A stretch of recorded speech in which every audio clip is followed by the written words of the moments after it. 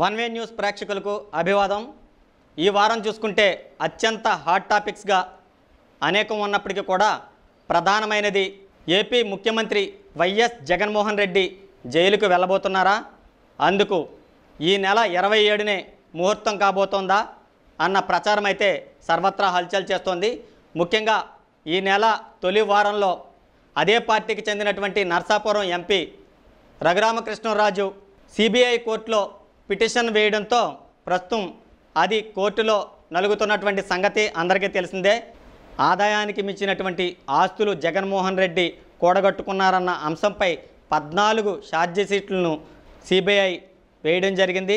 అయితే ముఖ్యమంత్రి అయినప్పటి నుంచి కూడా దాదాపు ఏడాదిన్నర కాలంగా పనుల నేపథ్యంలోనూ లేకపోతే ఆయన బాధ్యతల్లో బిజీగా ఉన్న నేపథ్యంలోనూ శుక్రవారం శుక్రవారం వాయిదాలకు హాజరు కానటువంటి పరిస్థితి ఉంది. దానికి కోర్టుకి అనేక వివరణలు ఆయన తరపున న్యాయవాదులు ఇస్తూ వస్తున్నారు. అయితే కోర్టుకి ఎవరూ అతీతం కాదు. ఖచ్చితంగా ప్రజల నుండి గెలుపొందినటువంటి ముఖ్యమంత్రిగా ఉన్నటువంటి వైఎస్ జగన్మోహన్ రెడ్డి కూడా ఖచ్చితంగా కోర్టు తీర్పులకు శిరసా వహించాల్సిందే అని చెప్పి రఘురామకృష్ణరాజు భావిస్తున్నారు.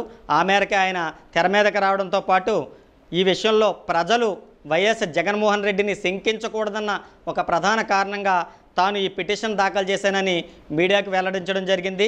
ఈ పిటిషన్ తర్వాత కోర్టు ఇచ్చే తీర్పును బట్టి ఆయన అరెస్ట్ అవుతారా? లేకపోతే కోర్టులకు తప్పనిసరిగా వాయిదాలకు హాజరు కావాలని కోర్టు తీర్పు ఇస్తుందా అన్నది పక్కన పెడితే మాత్రం ఇది గత రెండు వారాలుగా మాత్రం ఉభయ రాష్ట్రాల్లో కూడా ప్రధానమైన హాట్ టాపిక్గా మారింది. ఒక ముఖ్యమంత్రిపై ఉన్నటువంటి బెయిల్ గనక పూర్తిగా రద్దయితే పద్నాలుగు ఛార్జ్ షీట్లకు సంబంధించి ఆయన ఖచ్చితంగా అరెస్ట్ అవుతారని చెప్పి ఏదైతే కేంద్ర పెద్ద ఒకరు ఇటీవలే వెల్లడించడం జరిగింది. అదేవిధంగా బెయిల్ రద్దు అవడంతో ఈయన గనక అరెస్ట్ అయితే పరిణామాలు ఏపీలో ఏ విధంగా మారతాయన్నదైతే ఉత్కంఠగా కనిపిస్తోంది. ఏ క్షణాన్న ఏం జరుగుతుంది?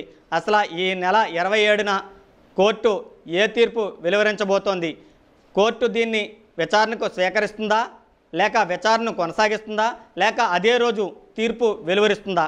ఒకవేళ తీర్పు వెలువరిస్తే ఆయన నిజంగానే కేంద్ర నాయకుడు వెల్లడించినట్టుగా ఖచ్చితంగా ఆయన జైలుకు వెళ్తారా? ఒకవేళ జైలుకు వెళ్తే గనక ఆంధ్రప్రదేశ్ తదుపరి ముఖ్యమంత్రిగా ఎవరుంటారు? ఇటువంటి అంశాలన్నీ కూడా అటు అధికార పార్టీ వర్గీయులతోనే పా- వర్గీయుల్లోనే కాకుండా రాష్ట్ర వ్యాప్తంగా కూడా హల్చల్ చేస్తోంది. ఈ ప్రచారం ఇప్పుడు ప్రధానమైన హాట్ టాపిక్గా కొనసాగుతోంది. ఎప్పటికప్పుడు రఘురామకృష్ణరాజు అదే పార్టీలో ఉంటూనే అదే పార్టీ ఎంపీగా గెలిచినప్పటికీ అదే పార్టీ నేతగానే అదే పార్టీ నాయకులు సాక్షాత్తు ముఖ్యమంత్రి మీద కూడా తరచూ విమర్శలు చేస్తున్నారు. రచ్చబండ రచ్చబండ పేరుతో ప్రతిరోజు కూడా ఆయన ఆ పార్టీ యొక్క పరువును తీస్తున్నారనే చెప్పొచ్చు. అయితే ఇతర పార్టీలు లేక ఆయన ప్రత్యర్థులు కోర్టుకెళ్ళాల్సి ఉండగా సాక్షాత్తు అదే పార్టీలో ఉంటూ అదే పార్టీ ఎంపీ అదే ముఖ్యమంత్రిపై అదే పార్టీకి చెందినటువంటి ముఖ్యమంత్రి మీద కోర్టుకు వెళ్ళడం సిబిఐ కోర్టులో దాన్ని విచారణకు స్వీకరించడం ఇవన్నీ చూస్తుంటే భవిష్యత్తులో జగన్ ఖచ్చితంగా జైలుకు వెళ్తారా అన్న ప్రశ్నలు అయితే సర్వత్రా తలెత్తుతున్నాయి.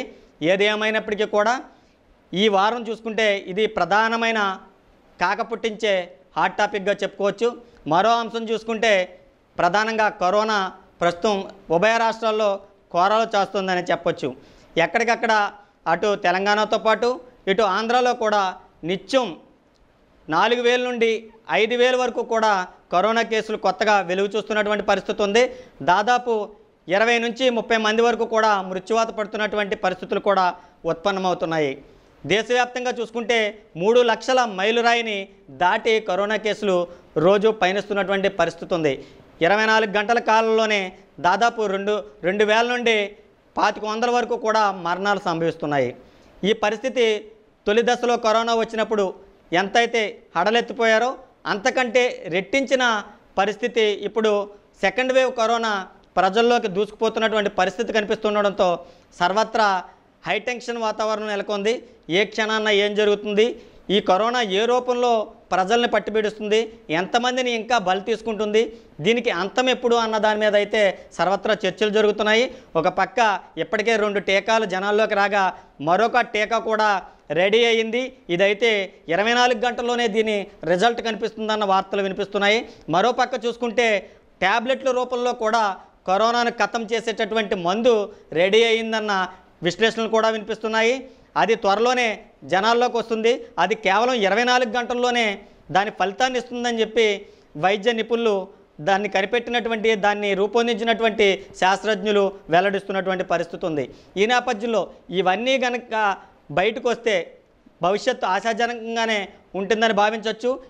అనేక తరాల నుంచి ఇటువంటి మసూచి కానీ కలరా కానీ లేదా ఇతర వ్యాధులు కానీ ఇతర రోగాలు కానీ రావడం పోవడం జరిగేది కానీ ఇంతలా మనుషుల్ని చంపుకు తినేటటువంటి అసలు తనలోనే ఆ రోగం ఉందో లేదో తెలియకుండా కథం చేసేటటువంటి ఇటువంటి మాయ రోగం కోవిడ్ నైన్టీన్ లాంటి భూతం ఇప్పుడు ప్రపంచాన్ని వేధిస్తున్న తరుణంలో దాన్ని తరిమి కొట్టాలంటే ప్రతి ఒక్కరు కూడా ఎవరికి వారు స్వీయ సంరక్షణ అనేది తప్పనిసరిగా పాటించాల్సిన పరిస్థితి ఉంది.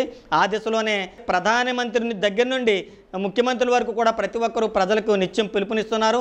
ఆ దిశగా అధికార యంత్రాంగం కూడా కసరత్తు చేస్తోంది.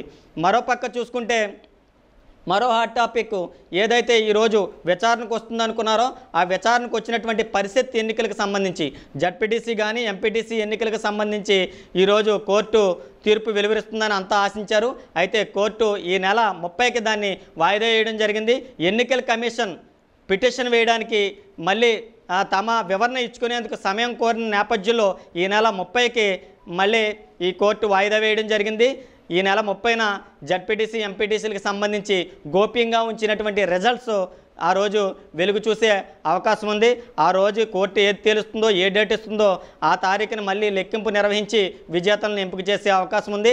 లేక లేకపోతే అవి ఆ కో ఆ తీర్పు విషయంలో కూడా ఆ ఎన్నిక విషయంలో కూడా కోర్టు ఏదైనా సంచలనాత్మకమైనటువంటి నిర్ణయం తీసుకుంటుందా అన్న ఆశాభావం కూడా ఆ పిటిషన్లో వేసిన వారిలో తల తలెత్తుతోంది. ఏది ఏమైనప్పటికీ కూడా ఈ వారం చూసుకుంటే అనేకమైనటువంటి హాట్ టాపిక్స్ ఏపీలో ఉన్నాయి. ముఖ్యంగా ఈ నెల ఇరవై ఏడు అలాగే ముప్పై ఈ రెండు తేదీలపై అందరి దృష్టి నెలకొందని చెప్పొచ్చు.